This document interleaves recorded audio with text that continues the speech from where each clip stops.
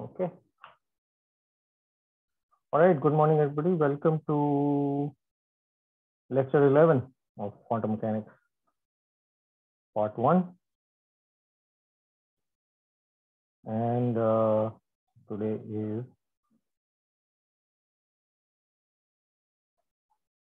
October 27th.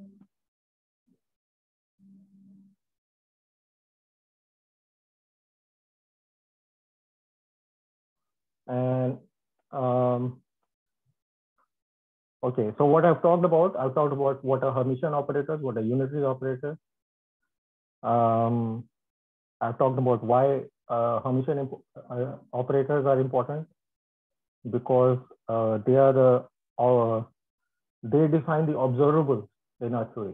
Okay, so uh, in, in in quantum theory, what matters is the questions that you can ask of a system right? So like you can you can ask a system what is the spin what is your spin? What is your energy? What is your momentum? What is your position? So when you when you say all these things uh, you have to uh, the way you ask the process of asking uh, involves the action of the corresponding operator on the quantum state of the system And so, and what happens is that, so this process of asking, right, is called measurement. And when this measurement takes place, the system collapses. The system collapses into an eigenstate, right, of that operator, of that particular operator, which you are using to ask the question. Okay, so, so Today, I'm going to talk about this measurement process.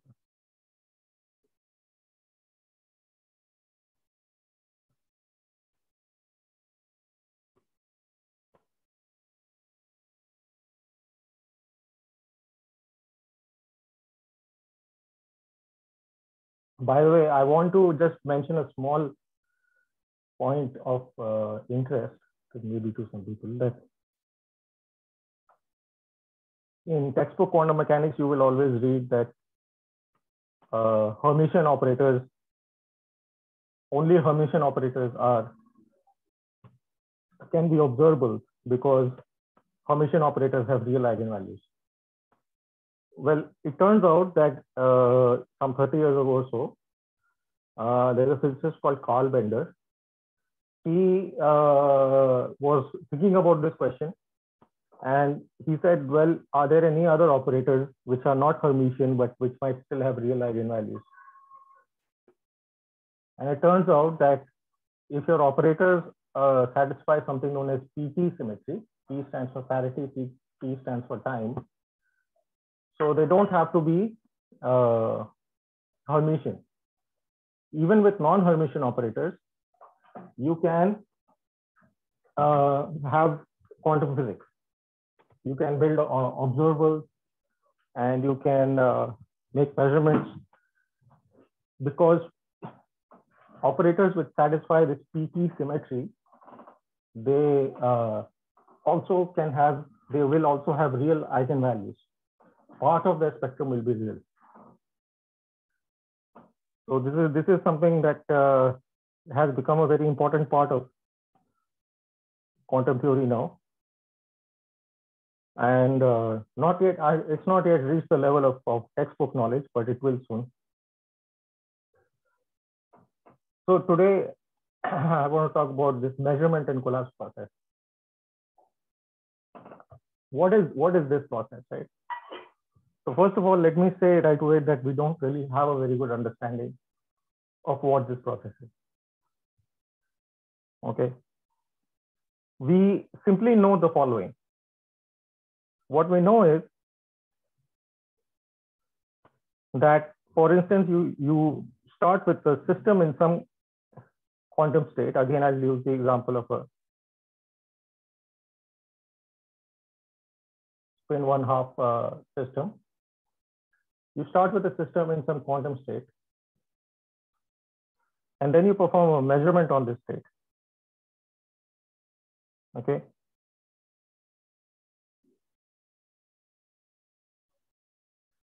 When you measure, so what are you measuring? This is important, right? So let's say you measure sigma z.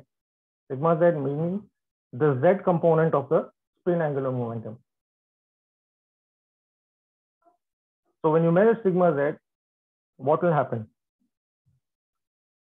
There are two eigenstates of sigma z.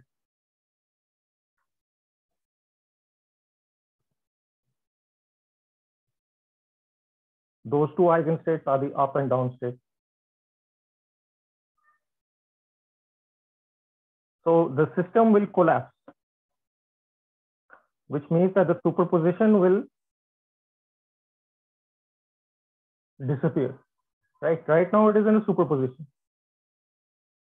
After the measurement, one of these components will be thrown away. But the component which remains, which component, like how, how can one decide which component should remain? And that that's the thing is that one cannot decide. That's the whole point of this measurement in class process, is that there is no uh, way to determine that in a given measurement, which component of the wave function will survive. Right? But it is possible to assign a probability. So it is possible to say which is more likely to survive.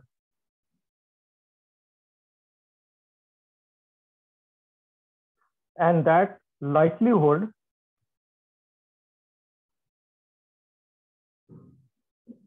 is given by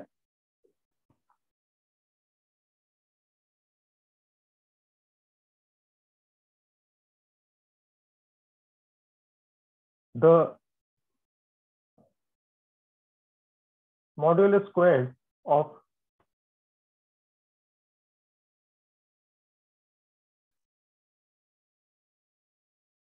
okay one second my network problem is there. Am I still audible? Hello? Your voice is breaking up, sir. Okay. Uh, the screen is frozen. One second, I'm trying to fix it. Ah, okay. Please let me know if there are any interruptions, okay? So the state collapses with probability alpha squared to the up state or with probability beta squared to the downstate. So what this also implies is that the sum of alpha squared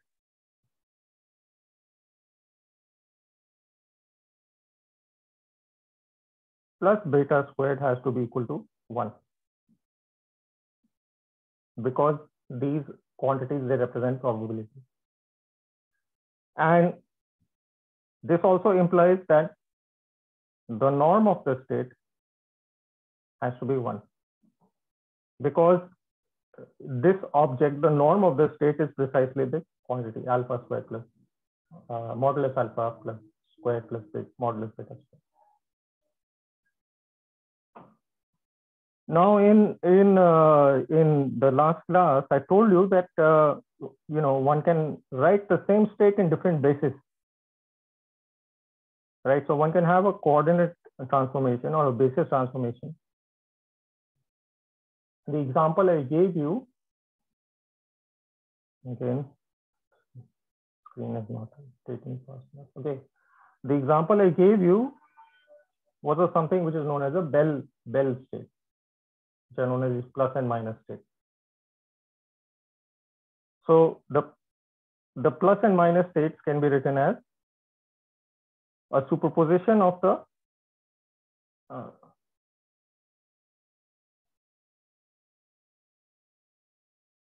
they can be written as superposition of the uh, of the of the spin uh, eigenstate. But now, right? So if I, if I do that, so what that means is that the same state which I had earlier, right? This this is the exact same state.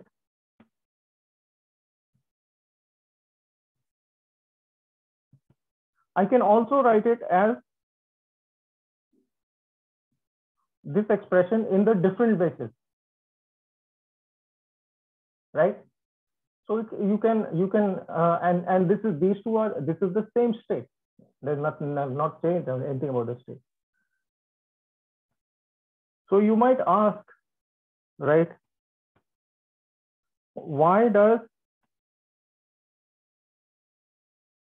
the state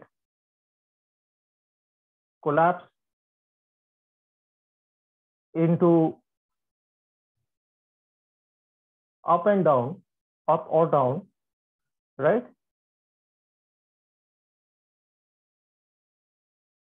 And not to the plus or minus state.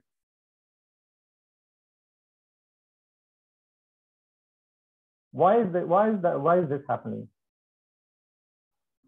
The reason is because, like I said, it depends on the question that you are asking the system. What is the question that we are asking this system? We are asking what is your uh, what is your z component of your spin angular momentum? So we are measuring sigma z. Now, if are these two states eigenstates of uh, sigma z?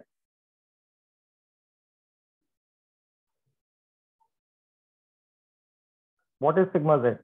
Sigma z is this matrix 1, 0, 0 minus 1. The up state can be written as 1, 0. The down state can be written as 0, 1.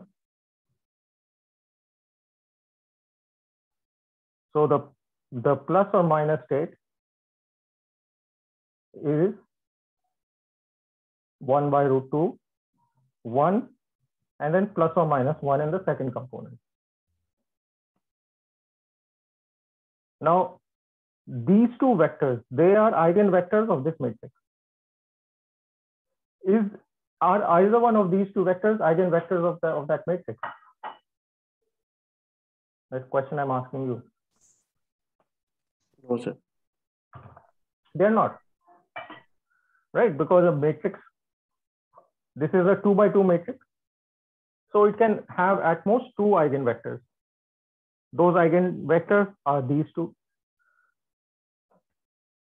So you can't have more than two eigenvectors. That's the first thing. And the second thing is that you can just look at this and you can tell that this, these are not eigenvectors. Right? This equation will not be true.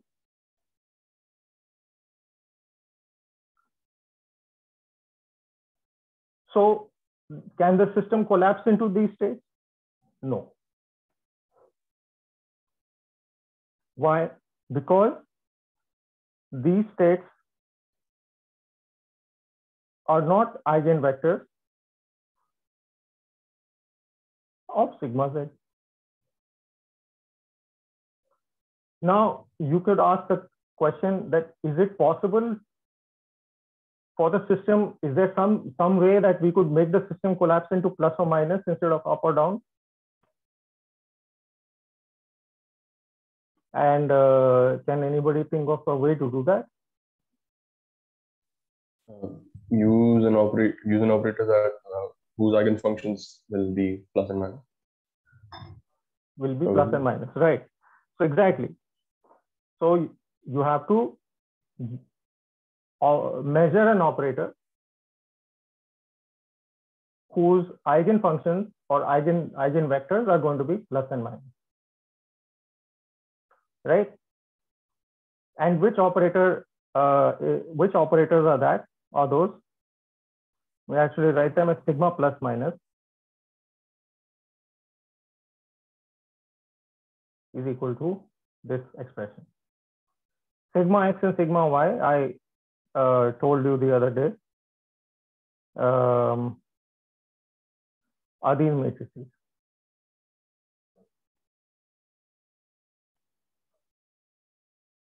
And, and, and these matrices are very important. And so it is very, very useful for you. Uh, it is one of the most useful things to remember the form of these matrices, okay? One way to remember the form of these matrices is the following. One shortcut is that you have three matrices, sigma 1, sigma 2, sigma 3. So you can write this as sigma 1, this as sigma 2, this as sigma 3. And you can see that each corresponds to one component of some vector, right? Some three-dimensional vector x, y, z. So if you take some three-dimensional, so you can write first of all a vector of these matrices whose components are sigma 1, sigma 2, and sigma 3. Okay.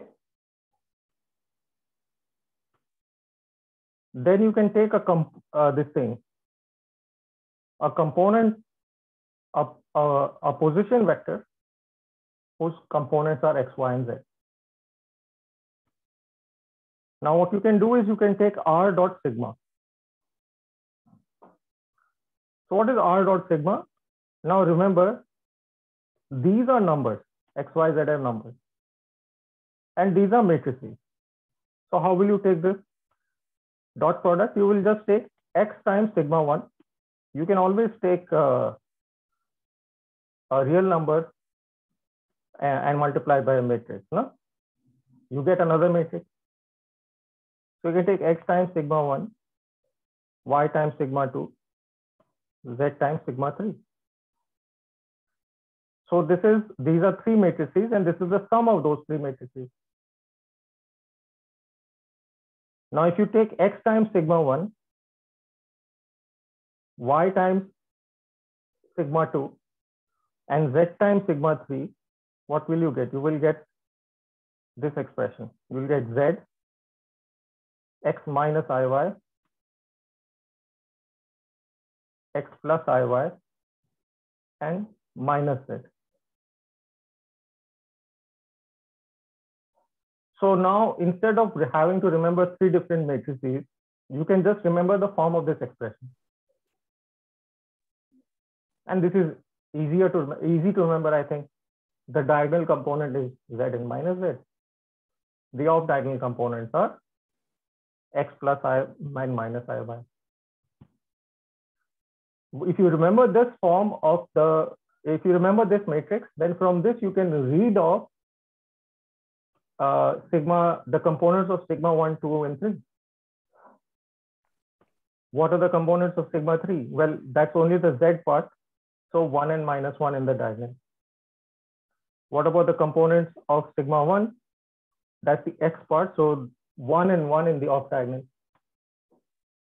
And same for sigma 2. Okay. Now, anyway, so this is uh, this, is a sidebar. Sidebar means a little bit extra information on the side. Hmm. Now, sigma plus and minus, these operators that I've defined. What will be the form of sigma plus and minus? Uh, you just have to take this guy plus this guy plus or minus. So you will get 0, 1, uh, minus plus i and 1 uh, plus minus i 0 divided by 2.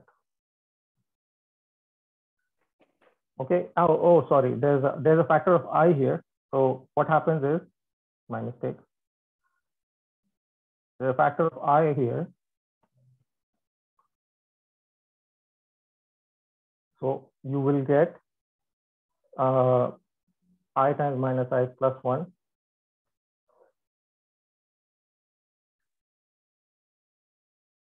So you will get these two matrices, sigma plus will be equal to uh, 0, 1, 0, 0. Sigma minus will be equal to this. Okay. And you can um, you can check that uh, that these states are eigenstates of sigma plus and sigma minus.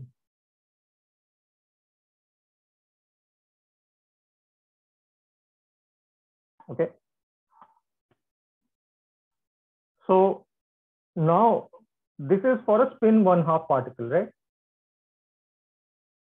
Now you, you might ask, well, how do I do this? How does the same process apply? How does this reasoning apply to something else?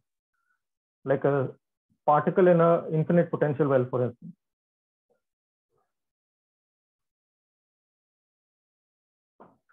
So for a particle in an infinite potential well, what do I get?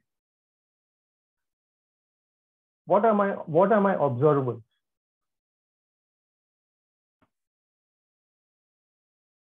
My observables are position, momentum, the total energy.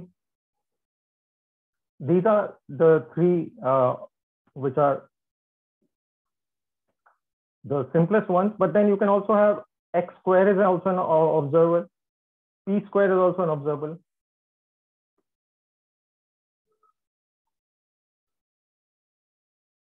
Right, you can you can make uh, n observables like this by taking some power of x and p in it. What about xp? Is this an observable? x hat, p hat?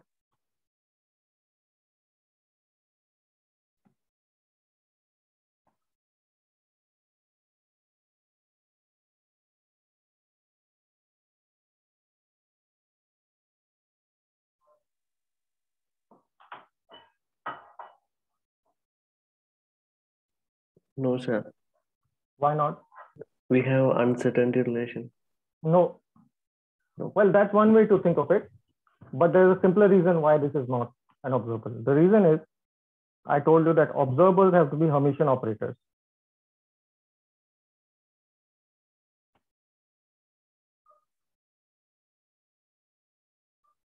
So we can ask, is this a Hermitian operator? So if I take x hat, p hat, Hermitian, what, what do I get? P dagger, A dagger, X dagger. Right. So I get P dagger, X dagger. And now you are, you are, you might be thinking, well, how do I get this? Well, because remember the Hermitian involves the transpose operation, right? And if you think of these operators as, as matrices, right, then the product of the transpose of the product of any two matrices is the uh, product of the transposes of the individual matrices in the reverse, right? So if you have some matrices A, B, C, you take the product and you take the transpose, this is equal to C, right?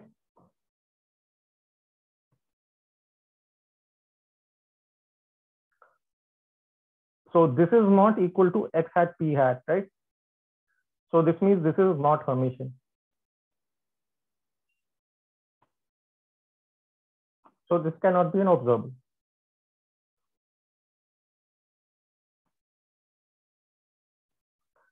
Right? Is there some way to construct a Hermitian observable out of products of X and P?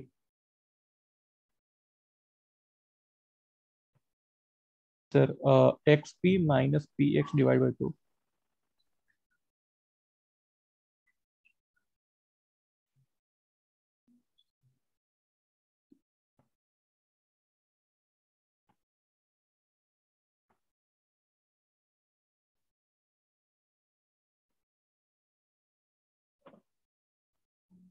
right? So let me call this my observable A. What is A Hermitian conjugate going to be equal to? I'll just drop the hats, okay? It's easier without the hat. It will be Px plus xp, which is equal to A. So this is a Hermitian observable. Right?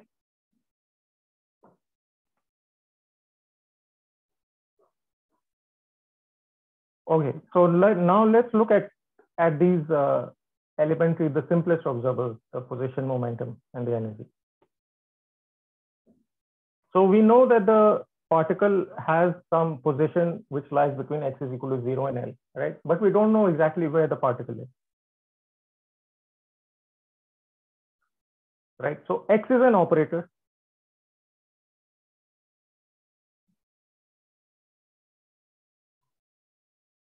What are the eigenstates of this operator?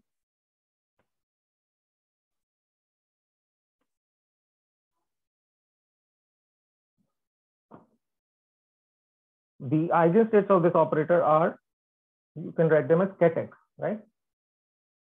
Where x belongs to the interval 0 comma L. Now, one of the funny things uh, is that, first of all, you will ask, well, how do I write this as a matrix? Like, uh, it's not clear. Like, what, what does it mean to write this as a matrix? Right. The second thing you might ask is that, uh, what is what is this this uh? So let's look at a simpler example. Okay, a simpler example is that let's look at a particle which is in, in, a, in an infinite potential well. Okay, so V is infinity here and here V is zero. But it can only live on certain sites. So it's so it's a it's like for example an electron which is living on a lattice right? A one-dimensional lattice. Okay, so x can only take certain values. X can take certain values.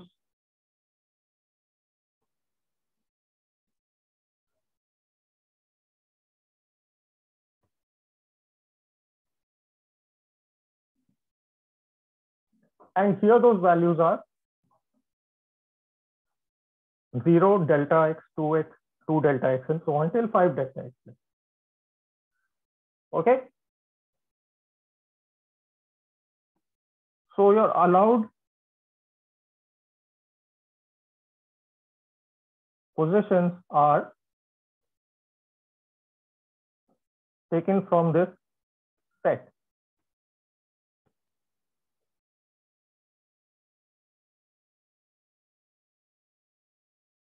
right? In general, you can think of a lattice which consists of n sites like this.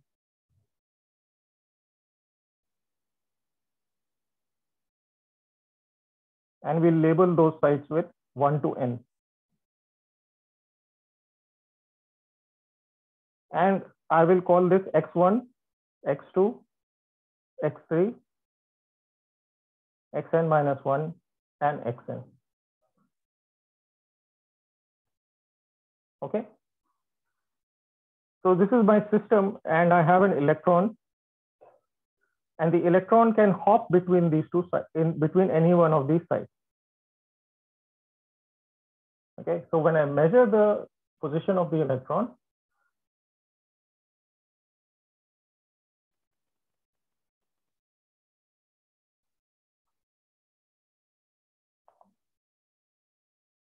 Hello, can you hear me? Uh, yes, sir. It's, it's all good okay. It broke up a bit. So, right.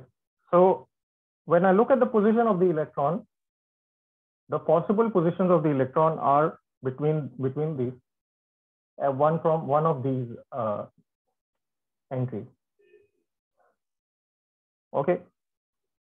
So now what are the eigenstates? How will I So first of all, how many possible uh, positions are there? There are n, n positions, right? So how many eigenstates are there for the for the position operator?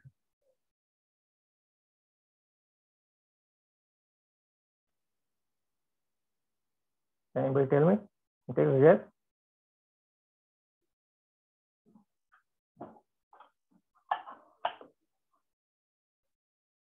How many eigenstates are going to be there? When I measure the position of this electron, how many possible outcomes will I have?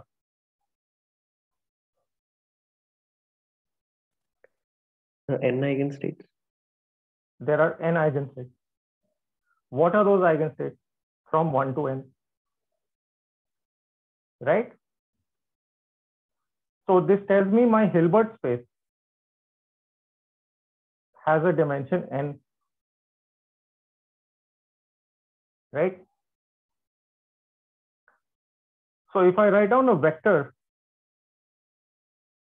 which is an element of this Hilbert space, okay? I can write this vector as an n component vector, right? As an n component object.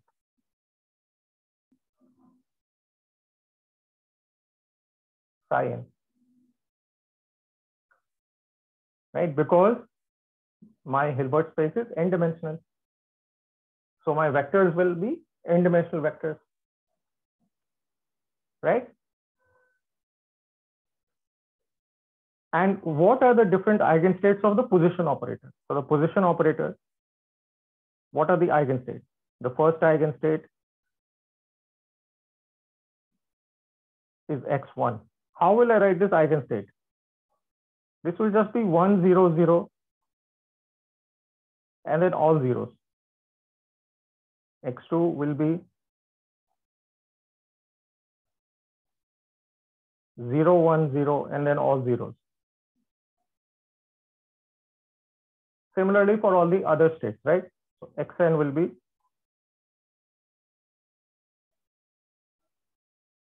sorry, not not n one, right? And what what is the what is the x operator in this in this basis? What how what is the form of the x operator? The x operator is simply going to be a matrix, right? And what is this matrix? This is just a diagonal matrix, right? One, one, one, one, like this, right?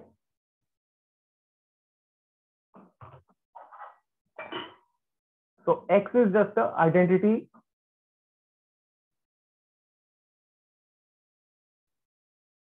identity matrix. But in this basis, this is very important. These are the basis vectors, right? For my Hilbert space. So I can write any, any state as a superposition of these basis vectors, right? Psi of i, xi. Let me write this again on the next page.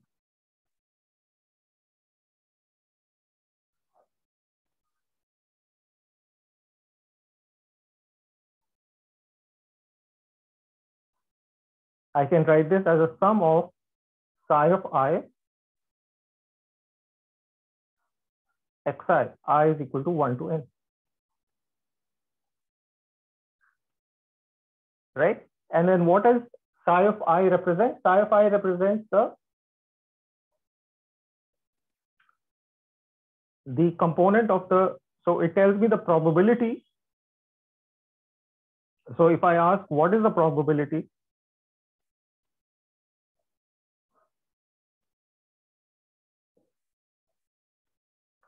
of finding the particle at the ith position. So when I make a measurement, what will be the probability when I make a measurement of the state of the system and the state is given by this expression? What will be the probability of finding the uh, the particle at, at the ith position? Somebody can look at this and tell me what our probability will be? So mod psi squared. Mod psi squared, right? Now I uh, notice there are only two or three people who are uh, like answering the question. So uh, what I would request is that after you have answered one or two or three of my questions, I would request that you uh, like not answer anymore. Right. This is the only way to make sure that everybody uh, feels like they have a chance. So what happens is only those see everybody. It is not just the two or three of you who are interested uh, you know, I mean, you, you are all capable people, but others are also. But what happens is that many people are just very hesitant to answer, right? They are not as confident. So you guys are the most confident, but not everybody is so confident. So, so if you give others a chance to answer, then maybe they will also answer, right? So I would like to follow this pattern for the rest of my class this semester, right? So once you have answered one of my questions or like two or two times you have answered, then after that, uh, refrain from giving any more answers unless I ask you specifically. Okay.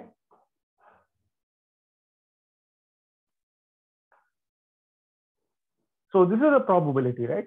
Psi of i. So now imagine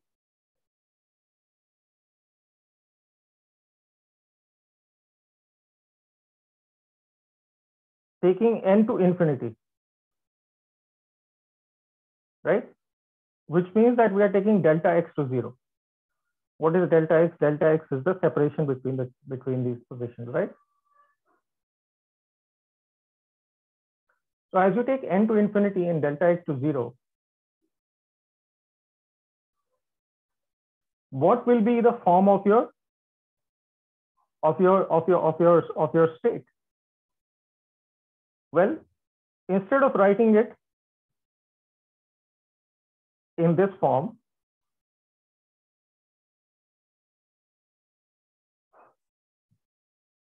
now I have to write it in this form as an integral over x.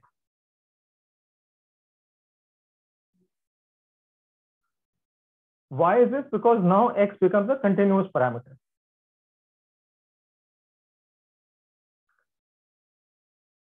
Okay.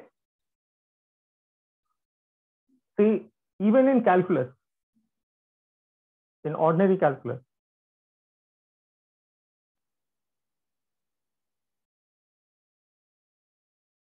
what happens? If you want to take the integral of some function, right? You have some x and you have some f of x. And you want to take the integral of some function, what do you do? You divide your range into n intervals. Right? Then you calculate the value of the function.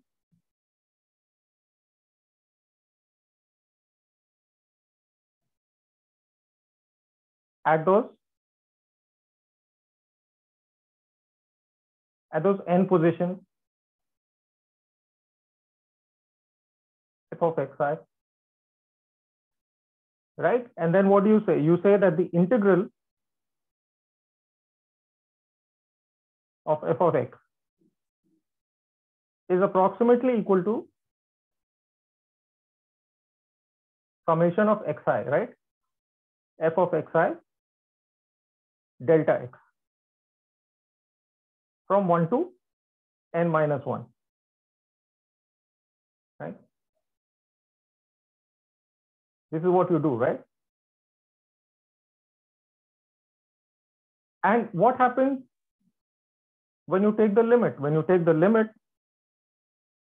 that n goes to infinity, this integral becomes f of x dx, right?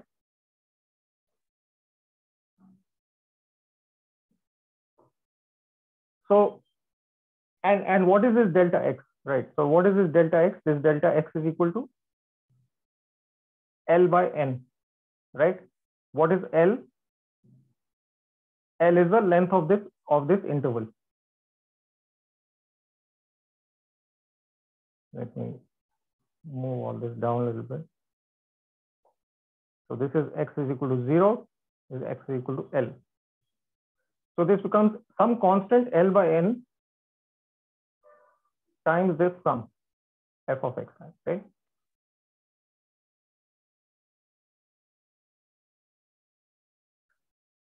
So what we are doing here is uh, the same thing. We're doing the, exactly the same thing.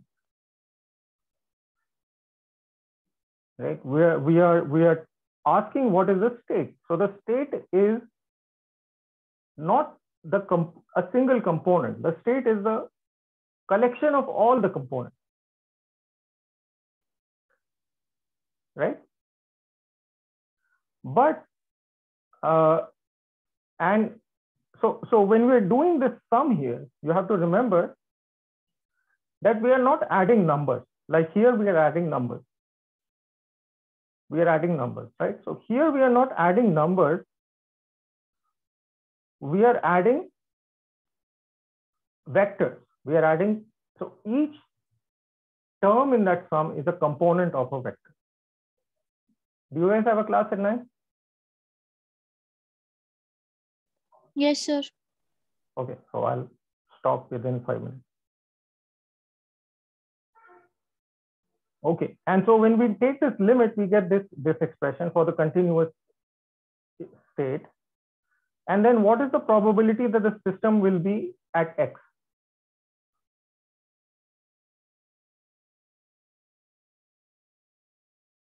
What is P of x?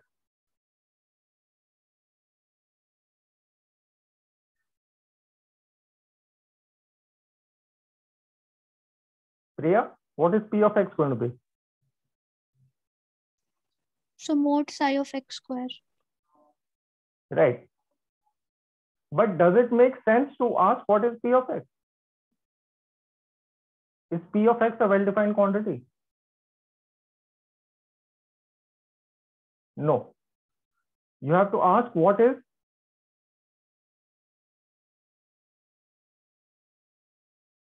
what is so it's not P of x, but it is P of x and x plus delta x. That means the probability that the particle lies in the interval x and x plus delta x.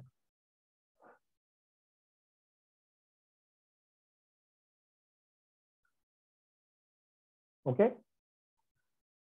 Now,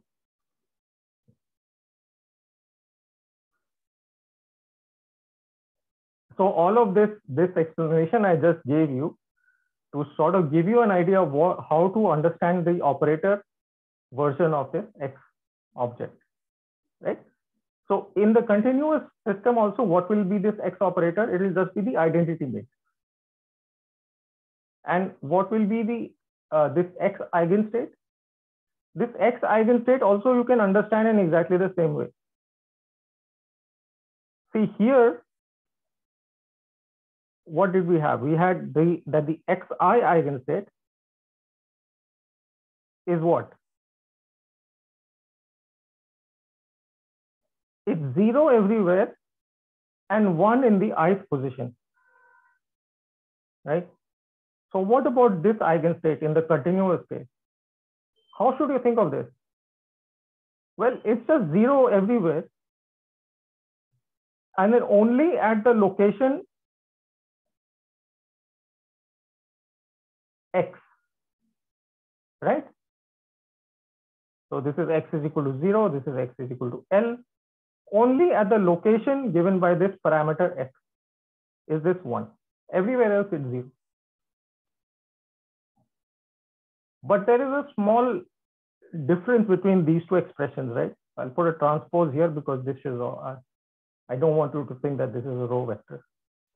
The difference is that uh, this is a finite dimensional vector.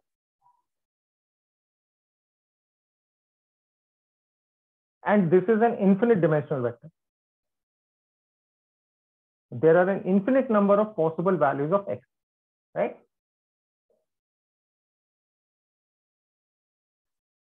Okay, I'll, I'll stop here for the day since you have a class coming up, okay?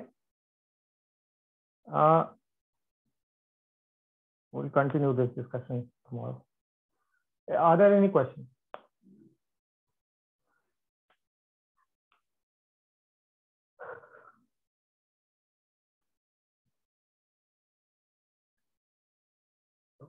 Okay, all right. Then I'll see you all tomorrow. Okay, bye bye. Uh, excuse me, sir. Mm -hmm.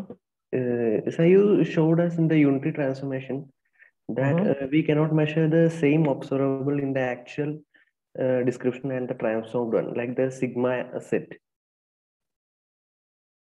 Uh, So what are the actual properties preserved under a unitary transformation?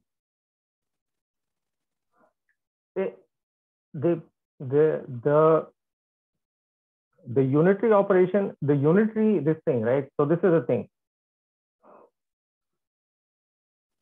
the unitary operation does not change the state of the system right when i go from here to here the state does not change.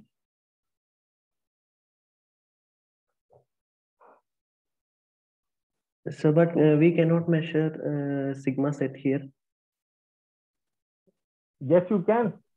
Okay. yes you can. You can measure sigma z in this spaces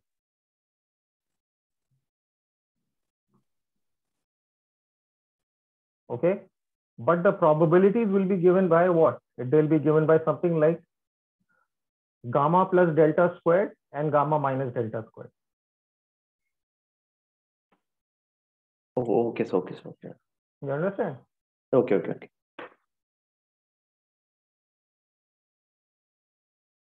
and and and my mistake i am i'm wrong when i say that the unitary operation does not change this well i mean mm, so yeah so if, you- if you think of it as a, as a passive transformation it doesn't change the state if you think of it as a active transformation it changes the state so this can become a little bit, bit confusing so it's always good to keep one thing in your head uh, but that can be difficult because it's quantum mechanics. All right, so I'll see you all uh, tomorrow morning. Good morning. Okay, bye bye. If anybody has questions, they are welcome to. Uh, I'm here. You can ask me those questions. Otherwise, uh, you tomorrow. I'll stop the recording.